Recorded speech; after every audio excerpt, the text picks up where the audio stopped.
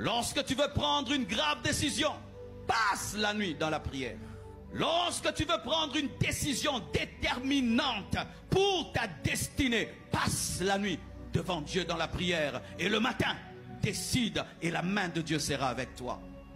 Jésus-Christ pouvait sortir le jour et dire, toi viens, toi viens, toi viens. Mais le Fils de Dieu, pour choisir douze personnes seulement, passe toute la nuit dans la prière. Cette nuit, prie pour des décisions que tu dois prendre. Il y a des gens ici qui doivent faire des choix. Certains même, tu es courtisé par deux hommes. Tu ne sais pas qui tu vas choisir. Prie cette nuit. Dieu va te parler qui tu dois choisir. Et si parmi les deux, il n'y a personne, il va te dire, il n'y a personne. Si cette année, tu dois décider, voyager quelque part, mais tu hésites, prie cette nuit. Cherche à connaître la volonté de Dieu.